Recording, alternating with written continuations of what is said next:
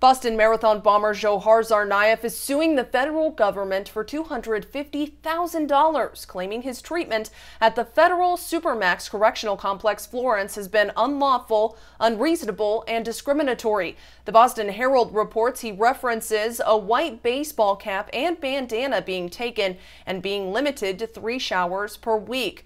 A judge ruled the filing deficient because it does not include a certified copy of the prisoner's trust fund statement and the $402 filing fee. Three people died and more than 260 were injured when pressure cooker bombs were set off near the Boston Marathon's finish line. Tsarnaev's older brother was killed in a shootout with police three days later. Katie Johnston covering Colorado first.